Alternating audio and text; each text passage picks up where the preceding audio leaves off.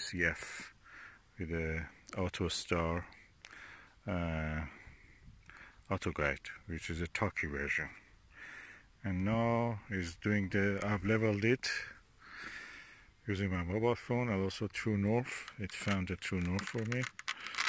I've attached the velcro on the back of this and the side so I can attach this if I want. I'm not going to use that thing for here. There's a clamp and I'm not going to enter. There's no point it. So it's searching now for the Star Vega. Of course I've not attached anything yet. No um, as you can see no back focal tube no diagonal no nothing else. Okay? I'm just letting it do its job. As you can see this daylight of course you cannot see much so I just say that I agree with it that is a, a Star Vega and I'll let it go now for the Star Capella. And he's looking now for the Capella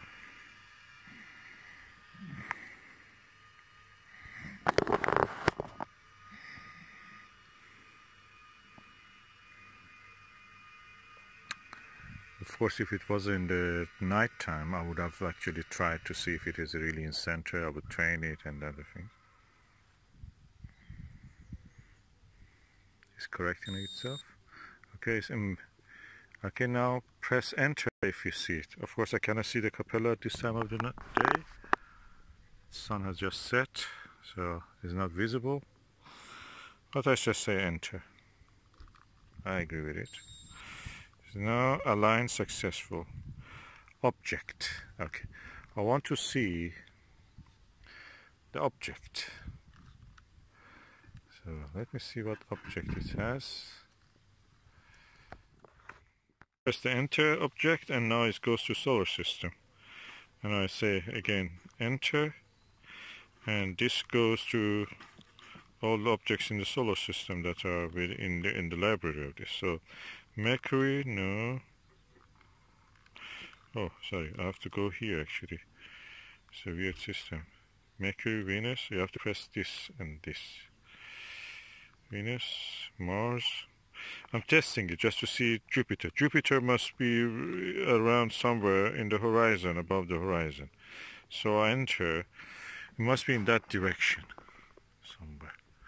If it goes into that direction, that means it's working so I enter it's calculating it's giving me some information about it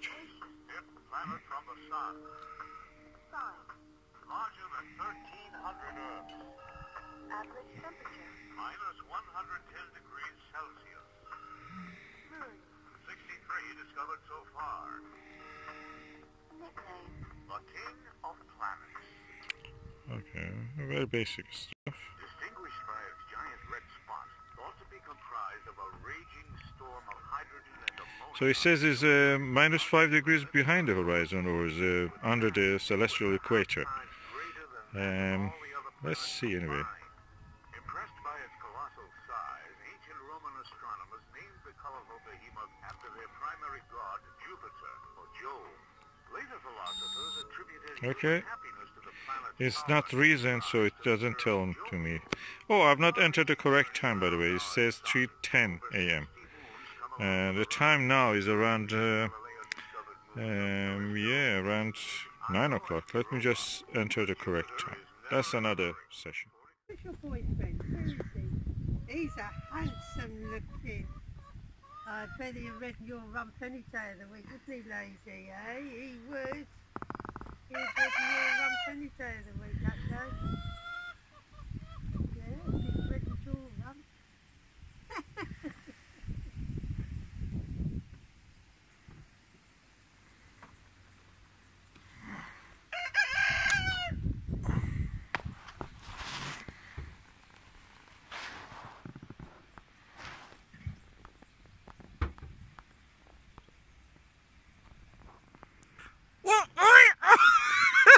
Canım I lost my voice. oh, oh, oh. I cannot sing.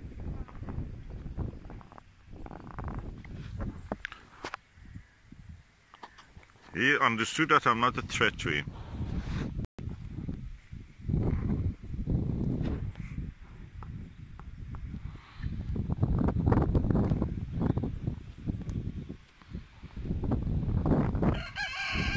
And the telescope is now tracking the Crab Nebula. During the night, or as they say, during the war, last night, it couldn't find any object correctly. Now during the day, every object is finding correctly. Well, anyway, we try tonight. Tonight it will be cl clear skies.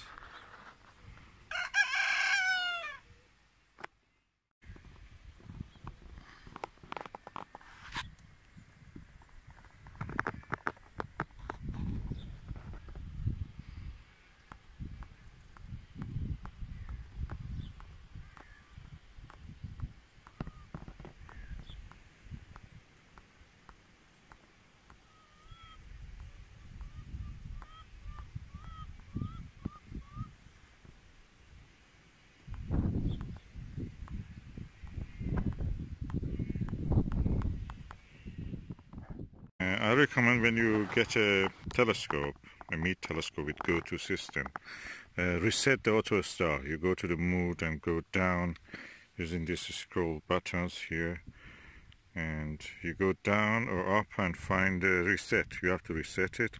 Then when you want to operate every time, I think, you have to go first, set your date, then set the time, day, day uh, saving, summer saving time, summertime, one hour ahead or behind, versus winter normal time.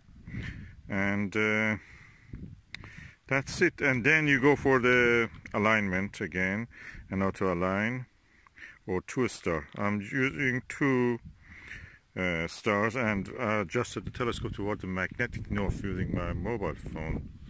Hopefully that's correct. And now I'm entering and let it go to find where it was. Achernar, okay, I don't want... The stars I can see here is one of them is that star, which is the, see the center, that's the uh, Arcturus. So I go down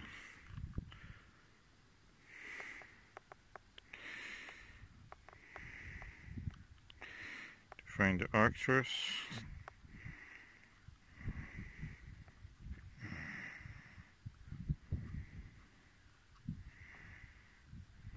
Antares. Antares must be also visible beside the Jupiter. But I'm going for Antares. Arcturus. Uh -huh. Arcturus is here. And let us see if it is correct now I can find it. Okay, it's turning toward the right direction. Let me turn on the flash so you can see. Okay, that's the direction is almost right. So when it goes there and points to the Arcturus, that is rising. Uh-huh. I think that is almost right. I think it's around two, three degrees wrong. I have to press it and bring it to that position. I will do it. Okay, the Arcturus is now at the field of view. Um, of course, I don't know you can see it, but anyway, it's in the field of view at the center. And uh, I use the focal reducer just to make the wide field of view. So I'm now entering, so it knows that's a star. So I'm now going for the second star. Let me see what star I can choose. Now having a Meade uh, ETX 8 inch Yeah, 200 LX90. yeah, LX90 which is a lighter version of the uh, 200 look at it it's a new one look at the paint And I'll just put this. oh thank you thank you this is the correcting plate that's the lovely mirror oh it's so exciting So I'll wait for it to get it fixed because then you'll see it moving and. and this is a Tokyo one huh it talks, yeah. So it's got a it's got the speaker there. Oh. When you're when you point it at a say you point it at Jupiter, Mm. you can press the speaker and it'll talk to you and tell you a bit about the planet. Is it possible that it finds its way around or no? It does find its way. So when, when if, if we were outside, oh, it has a. it's got GPS. So, so it's, Yeah. it's taking it's trying to take a GPS fix Yeah. now, but because of the house, it's very Yeah, difficult yeah, to get a signal in here. But if we were outside, we would point it north, um, level it, Mm-hmm. and then it'll it'll it fixes it it uh, automatically slews to two stars in the sky, two bright stars. So it'll slew to the first one. accurately. Well, yeah, I mean, you need to see. It, it may get it accurate first time. If it's not, you just look through the thing and, and you just Mm. You adjust it it, slightly. yeah. So you, you adjust it slightly. Then you tell it to go find the second star, and if you need to adjust it again, you do, and then it knows exactly where it is. So then That's you can just lovely. say, uh, "Go to Saturn." Just a question. It has a two-inch tripod, I see. Mm-hmm, Is it possible to put it in the windowsill and without the tripod, just put it in the windowsill to have a look? Yeah, I think you could. Oh, is it stable? yeah, because this that, that comes apart. So we will take this apart to Yeah, yeah. transport it. So otherwise, it's too heavy. Is it stable? You think? It can oh, yeah, it'll be stable. Yeah. Oh, that's Yeah. lovely. I just kind of go. I will go tonight probably. Was looking at the. Yeah, yeah. Um, Forest. I'll just see wait for it to get a GPS switch. You should get one soon. So basically, so this. Um, Don't worry. Inside the building, I don't expect you. Yeah, that's right. You But you say you got you got the you got the, the, the adjusting adjusting Oh, here. oh, oh. So there's there's that one, and then there's uh, this one here, which. Oh yeah, for the azimuth. Huh? But we'll wait for it to get a. It's lovely. No, I'll show you Impressive. So Impressive. north is north is about there, and I'll level it. So you know, just get a like I just use my phone to make sure the Yeah, tube's yeah, level. yeah. I think the I use a Vixie for this. Okay. There's an angle. Uh, there is a little device which shows the angle. Ah, yeah, It's yeah. magnetic, just sticks to here. Yeah, yeah, yeah. Oh, lovely, beautiful. Yeah, yeah. So as I said, it's Cannot believe I got this. it was a dream. Bless you, man. I mean, you can see the, the you know details on Jupiter, the rings, Oh, all that thing you can see very easily. Uh, I tried to actually photograph the Jupiter the other night. So for telescope, I've attached the auto guide, auto star, the Velcro to the body. I can it's like magnet as if it attracts to it. And for the second star, I'm going to choose the star which is right above our head. Let me turn off the flash. Yeah, that's the star you see there in the center. That's Vega. And I'm going to use that.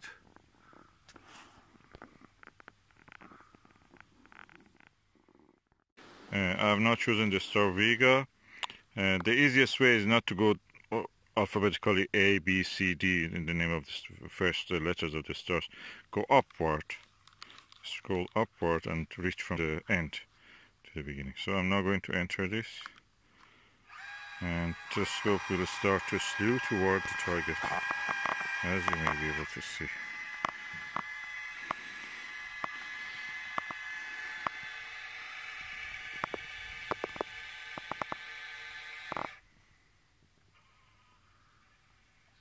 We're trying to find it. Uh, of course, I will try to help it because it's the first time I'm using this with this system. So I have to bring it to the center. I will do that. The second star, noticed that the Vega was covered with the clouds, so I just chose the Antares. Over there, beside the brightest dot that you see is Jupiter. So what I'm going now is to press enter and this is calculating alignment su- successful. I'm now going to choose the object. So I press enter again. Solar system. And this is going to Mercury. Uh, I want to go for Jupiter so I'm going down. Venus. Mars. Jupiter if I enter it now, this will go to talk about it. I don't want talk because I've listened already to that. I want it go to Jupiter. So, yeah, dead center. Dead center. We have the Jupiter dead center. Auto line successful. Minus 110 degrees Celsius. 63 discovered so far. Amazing. I have it at the center now. Oh, lovely. Oh, I'm really impressed. Uh, the other spot. Now I'm able to track with my Meade uh, 8 inch uh, LX90 ACF telescope advanced coma free or ultra high transmission coating amazing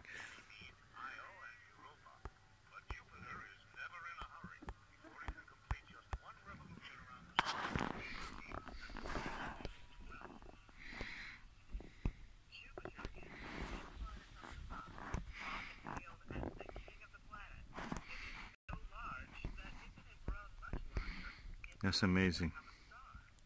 I finally succeeded. What I did was that I didn't go for auto align. I went first resetted uh, the handset. Second, what I did, um, I went and uh, actually set the date, set the time, and then uh, saved it for the, course it's summer now, uh, daylight saving time. I set it up also for that. Then after that, I went, uh, I went and chose the old, and compass alignment. I use the just compass by the mobile phone. Uh, there is an app for that. Leveled it with the app also. And then I ask it to go and find two stars for me two star method. Instead of the easy way I went for the two star method. The star one of them was Arcturus the other was Antares and it really did the job well. And now after that I went to Jupiter and now uh, I was listening to Saturn. Now I'm going back to Jupiter again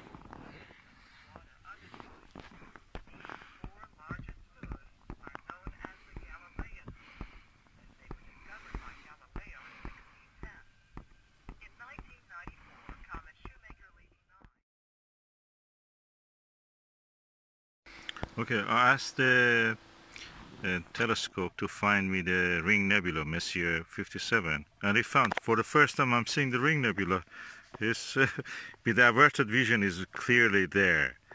And, uh, oh, I'm so excited. I love this telescope, that's such a good piece of kit. Oh, exciting.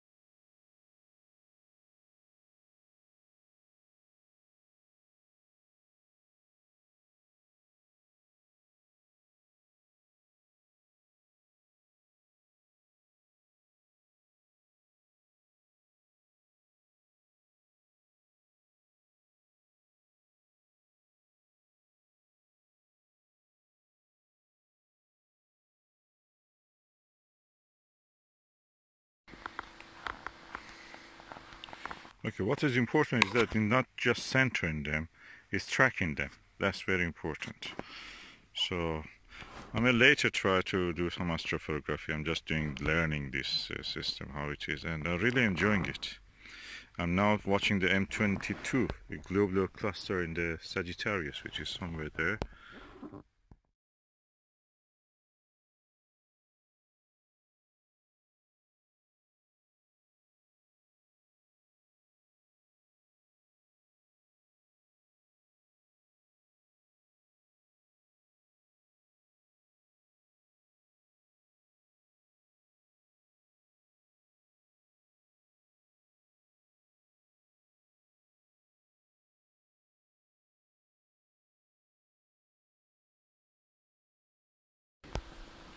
Okay, I'm using the Meade uh, LX90 and uh, of course I'm going to a tour is now going into M5 Messier 5 is a globular cluster in the Ophiuchus constellation. What I was noticing is that when I was using this is that when I need to, you know, when you want to look through the eyepiece you need to hold your hand somewhere and just be sure that you, you can keep your head at a good distance from the eyepiece. So these handles come useful, very good for that. Always wondered because they are not good for carrying or lifting the telescope. For that, I don't think they have done a good design. It's not clear where you have to hold it to lift it. These ones are not really for lifting. But anyway, you can use it, but it's not designed for that. I think the design is just for holding it when you're observing. And it's very sturdy, actually. When you hold it, no vibration in the eyepiece. That's amazing. I love this setup.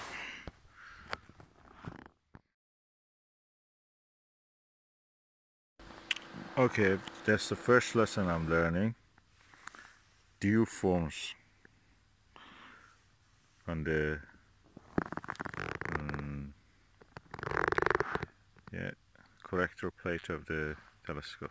So that's what is affecting the view. I was noticing that I cannot see the fuzzies after a while. So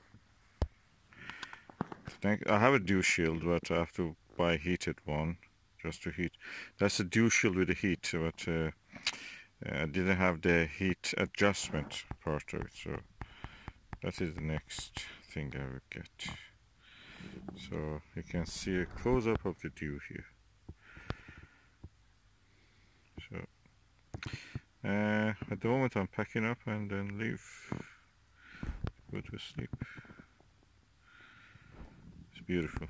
Nice experience. Lovely experience. I really love this purchase of this telescope. It's really the best thing I've ever done.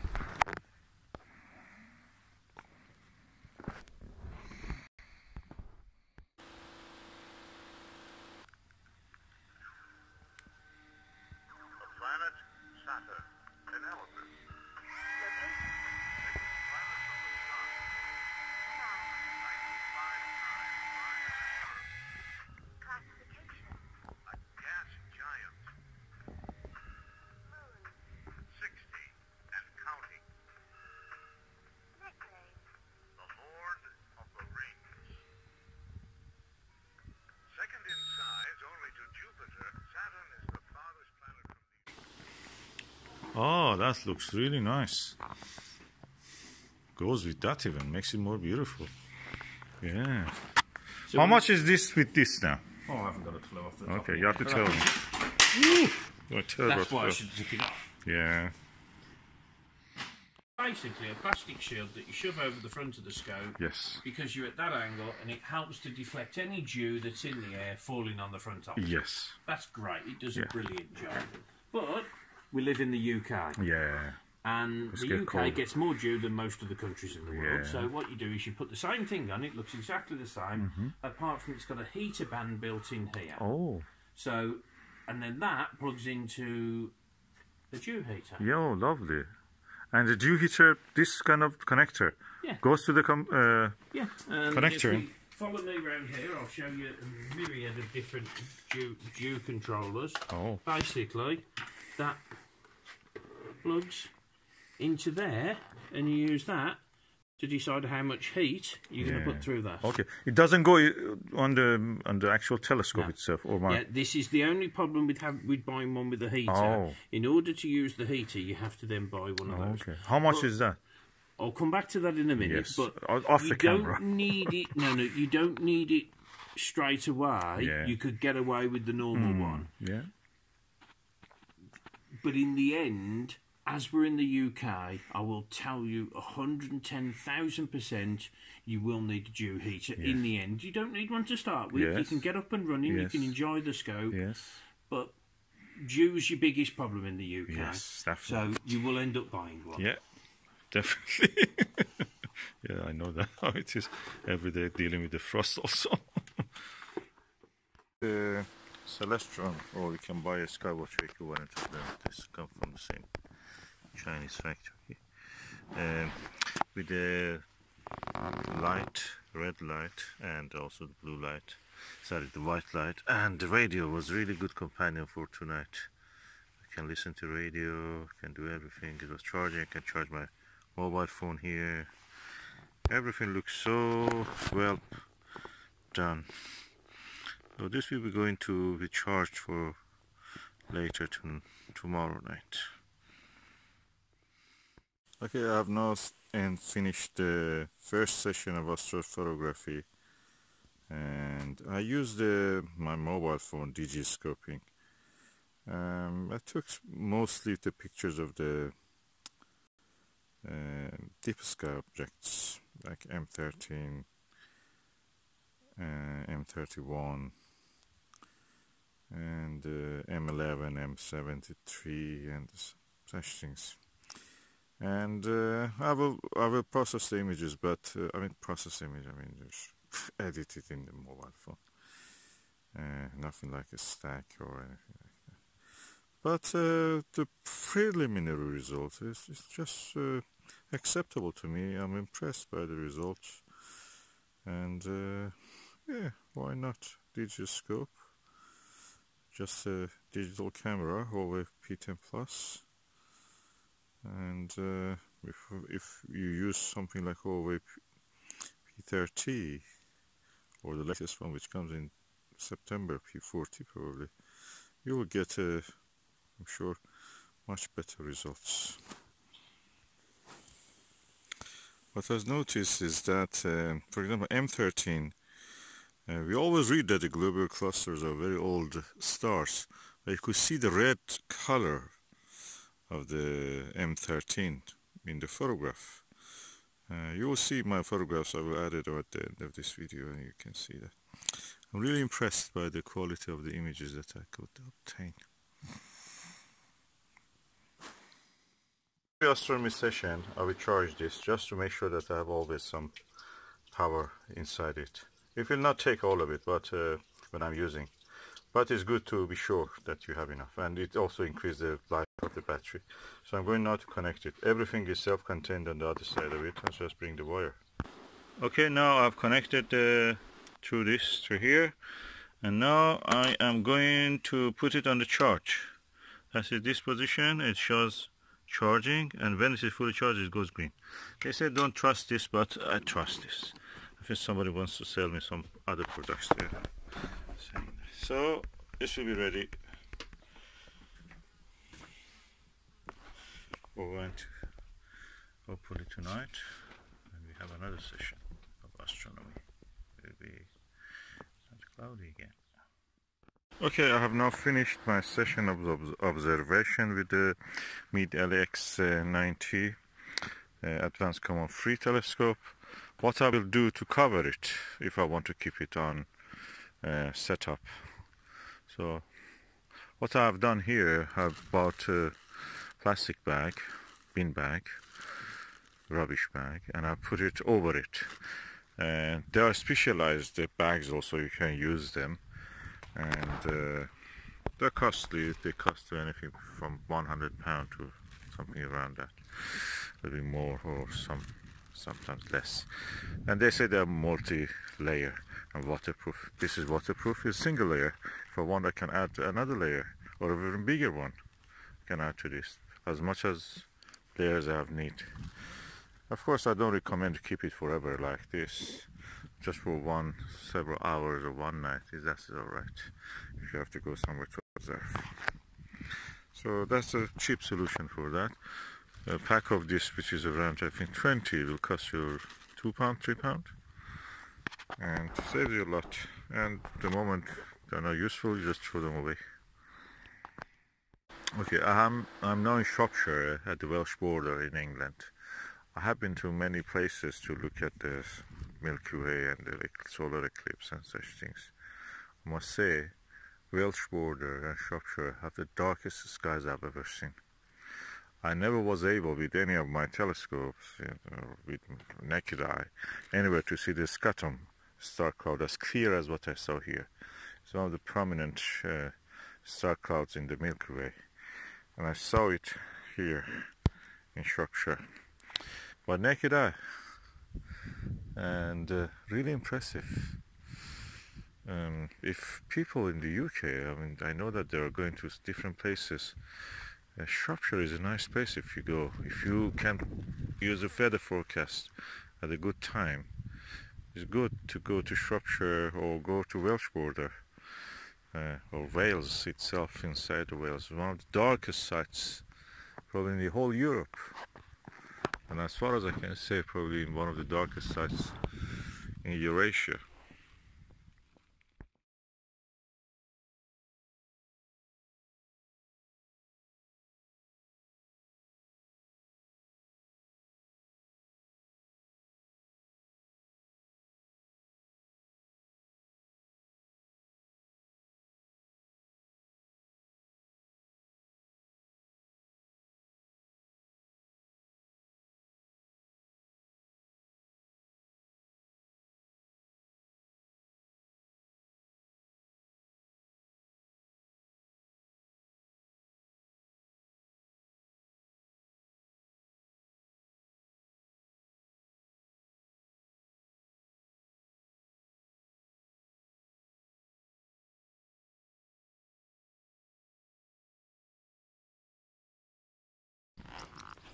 Okay, uh, I had a visit to the mill which is there. It took around 20 minutes and now we are back. Most of the condensation has gone. So it worked. Beautiful telescope, I love it. That last night we had a lovely view of the sky. Everything I pointed I could see. The Milky Way is amazing here. I think this is one of the darkest sites in the in the world probably. because uh, in in Wales and Welsh border there is not much people and there is not lights, much lights. So it's amazing. You can see here. I'll leave it open for a while just to completely dry up.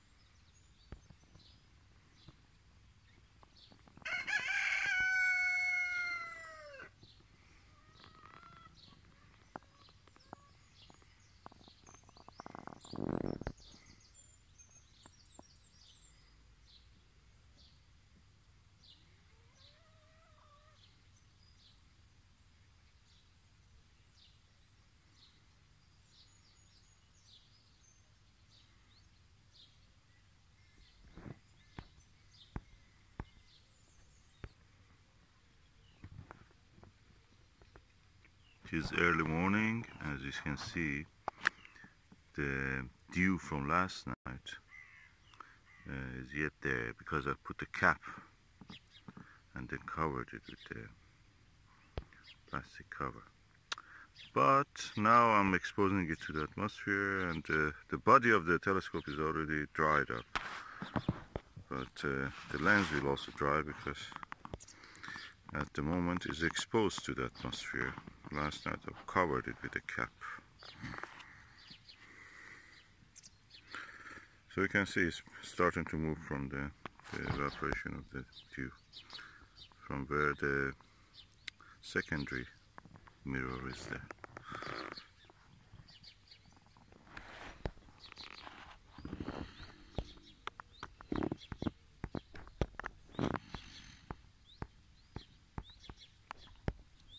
So probably next time I'll bring a little heater also, I mean hair dryer. But the best thing is to have a device even I can build it myself is a Constantan or Nichrome wire with a little battery attached to it. So it just will heat it up. Even when you get a new telescope sometimes you see that they have drilled holes there. This hole actually I know what is it for. It was for holding a, my uh, a Losmandy bar with uh, uh, two rings and attaching to the ring was a um, 80 millimeter Orion refractor. Very good idea. But these holes, I wonder if I don't close them, the atmosphere will, uh, will cause the dampening of the inside of the mirror, inside the tube. The air will go inside it and gradually we will have buildup of the moisture and moisture leads to the mold. I wonder should I cover these holes? Hmm. I will wait until hot day. And the hot day when the moisture everything coming out hopefully I will cover them with something. Even a Blu Tack may, may do that temporary. But I can clearly see this hole. Behind it is a secondary mirror and collector collector plate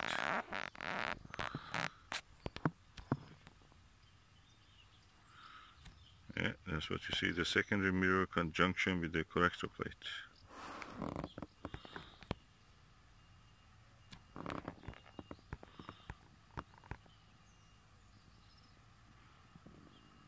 It's amazing how much uh, debris you can see there. And they don't affect the viewing as much as you expect. I think the secret of my success with observation of many of the faint fuzzies, nebulas and deep sky objects was that um, I put this uh, Celestron, or you can use Meade. Meade one is a little bit, I noticed, is too more, shows the uh, secondary mirror too much. But this Celestron one is alright. And if you use Antares, that will be also alright. This focal reducer actually made the field of view wider. So um, um, when I'm looking at the faint fuzzies, which are, you know, big, uh, I mean, can be up to two, three degrees in the case of the Andromeda galaxy. Uh, if you look at with a narrow field of view, you will not see the contrast between the darkness of the sky and the brightness of the faint fuzzies. So this actually increased the field of view and I could see, discern them against the background of the sky. And I think that was the secret for that. This was really good. Get a, a focal reducer to use with. Uh, of course, uh, you can remove this if you want. For planetary viewing, it probably is better to remove it or use a Barlow or a low magnification lens just to uh, see the more details that is visible in the case of the planetary objects like Jupiter and Saturn, which are now in the sky. And uh, for other things, for, for very wide objects like the faint fuzzies, nebula clusters, and all the things, it's better to have the focal reducer. So we have a, almost two degrees. Yeah, this is a this is 10 millimeter. I had 40 millimeter last night, and this 40 millimeter, and with this uh, focal reducer, the widest possible field of view was around two two degrees, which is really good. Full four uh, uh, moon widths you could see and that's the secret I think to using this comfortably with a uh, good amount of the visibility.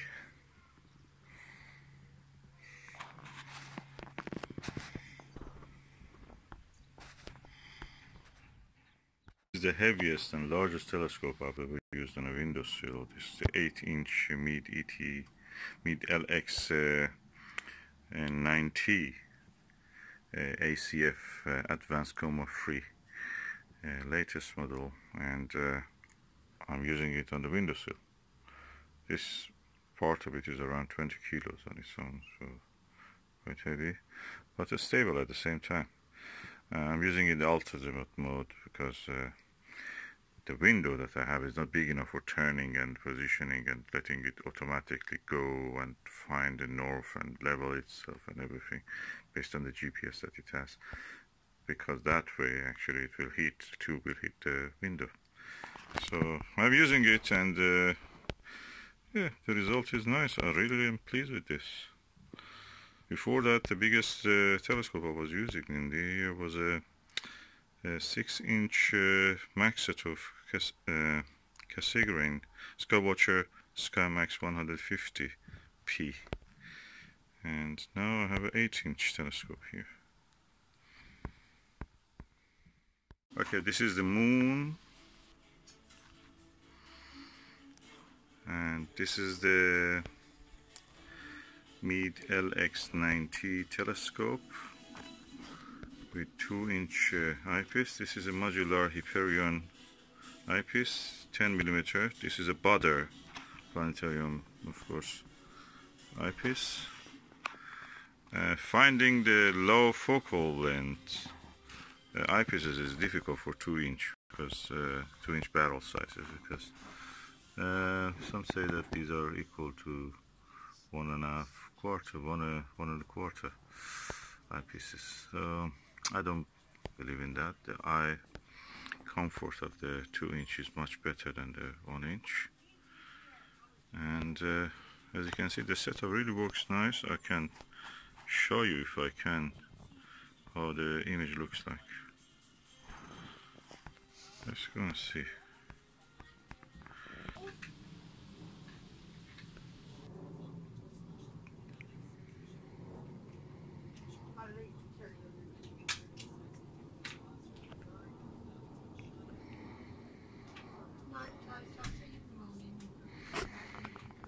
My hand is shaky so I can't really hold it. I have to use one of those camera adapters, but uh, it's too too late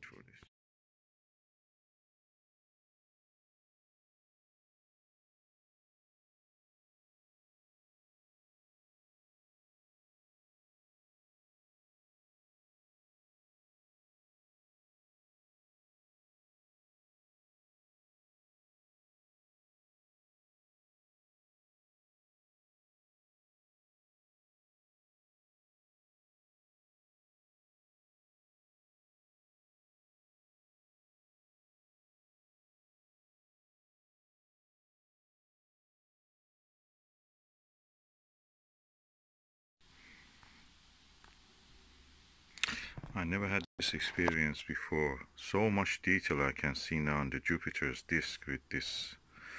I wish I could show it uh, properly, but uh, my hand is very shaky. I cannot show it really as good as I wish.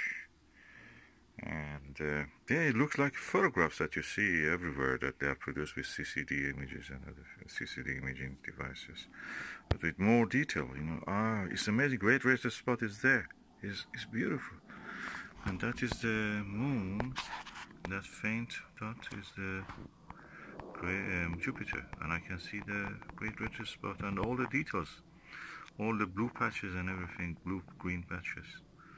With this uh, other Hyperion uh, 10 in 10 millimeter 2 inch modular uh, eyepiece.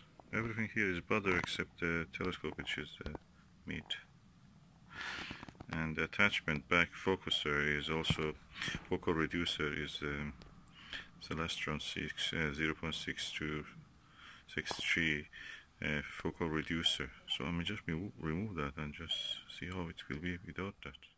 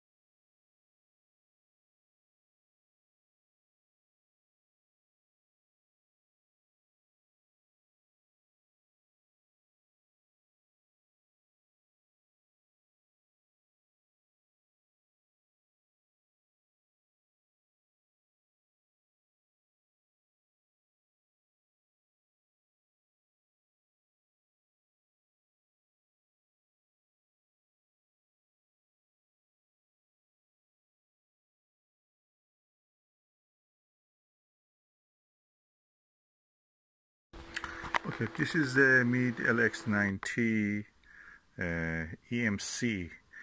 I bought it from uh, ENS Optical in Birmingham, a guy called Steve. And I really regret I paid 950 pounds for this. And I got this one is a LX90 uh, ACF Advanced Coma Free I bought from eBay 520 pounds. And I'm looking at the Saturn at the moment, is somewhere in that dark. And I was wondering why when I look at this it's just so unclear, it's just fuzzy, it never comes to focus.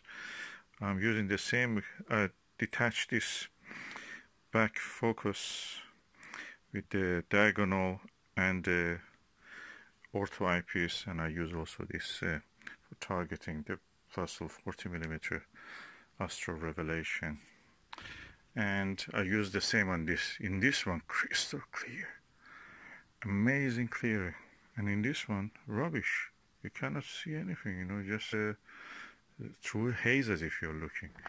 And I can show you nothing wrong with the front but when I was the stars look at the stars autofocus this doesn't show any uh, it shows that it's auto collimation even worse than that, I think that the mirror is damaged. It's deformed, kind of. That instead of being round, it's kind of um, hexagonal. And this one is perfect circular. 520 ENS optical 950. Rubbish. The guy doesn't know, either doesn't know about anything about the telescopes, or he's just dodgy seller. Steve is probably a dodgy seller. I don't know it.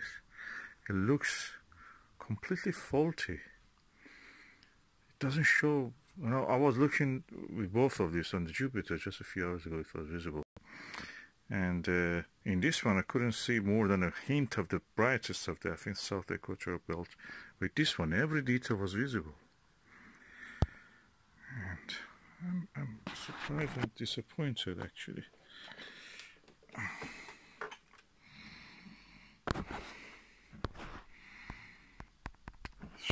ENS Optical, I don't think they're they really know anything about optics, or they don't care about the customer or anything like that.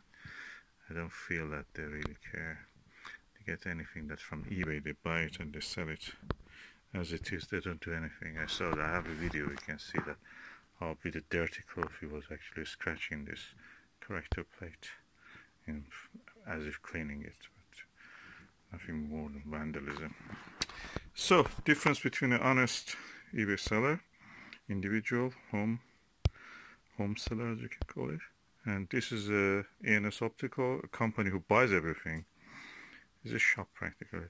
Buys everything from eBay and just sells it on the again on the eBay. But in a very dodgy way actually ask the people in the eBay to come to the website. Now I understand why they ask this. I think the reason they ask it is because they ask people to come to their website and buy it from there have a 50 pound discount. When you go there in my experience that's what happened to me. They kept my money for one month. They didn't send a telescope. One month my money was in their hand. And uh, you don't have that vulnerability when you, you shop from the eBay because practically uh, within the 28 days they have to send it. Otherwise you can just go and uh, cancel it.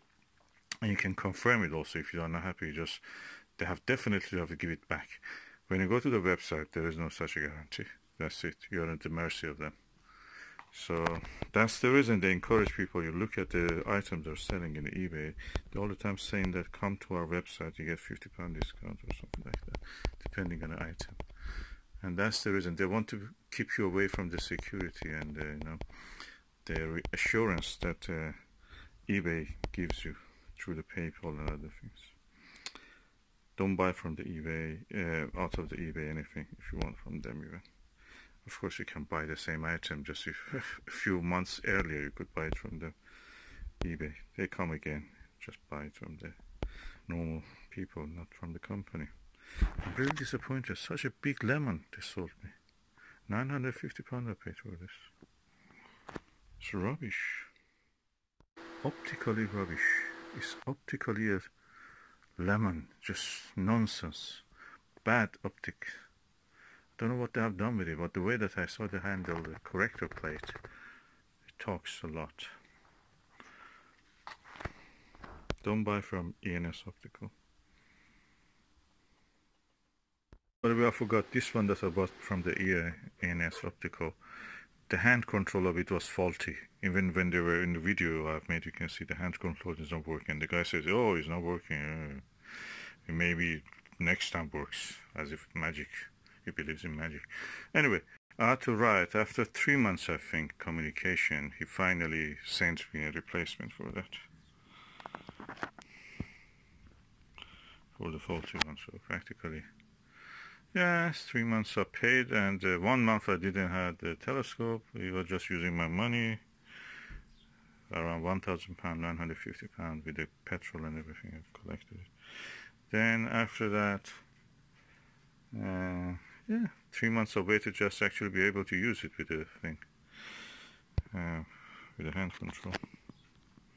Not good experience. Um, I was thinking a long time why this ENS Optical uh, guy was telling me that you are lying. When actually I paid money and I just wanted to come and collect it as he told me that you can do it. And I was thinking why he was worried, why he was selling such a thing. It's, it's just pointless. I didn't understand even what it means when he says we have fraudulent people lying. My money was in his bank account. And one month passed. He was just every time saying, I'm in Spain, I'm, I'm away. And uh, now I realize that he may have some dealings with people and he made a, a fraudulent treatment or something like that. Something went wrong and the customer service was so bad somebody complained to somewhere important. And he was aware of that and he was worried that somebody may come after him. He want to see him in his place. That's the only reason I can think of otherwise what's the point of it? I paid the money. I just want my item. And my money was in his bank account. Directly direct debit it went to his account and I was wondering why 950 pounds went to his bank account and yet he was moaning about these things which I couldn't understand I couldn't figure out what he's talking about the money is in his hand he, he has to deliver the. I think by then he was just trying to, uh, because I saw a lot of things. He may. I have a suspicion he may put parts, take one part from something, put it on another one, just makes them, you know, something like that. That's what I'm thinking. Uh, this the box that was for mine went actually for somebody else. And the rubbish wrap wrapped lead came for me again. None of this was mentioned when I was buying it from his uh, website. ENS Optical. So it's just all dodgy looked dodgy not right to me. I wish I didn't buy it but then my money was in his hand so I couldn't really uh, I was new also to eBay. I didn't know that you can buy it actually in eBay. You just have to wait for the right item to arrive. Anyway, it was a compulsive buy. And this one, Advanced Coma Free GPS version, LX90, came with a AudioStar hand control. It talks, number one. Much better deal than that. Look at it. wrapped. Look. Look at it. Come on. And we want to go out of EU with this kind of businesses and trades and manufacturings. I don't know really. This is a customer service we get.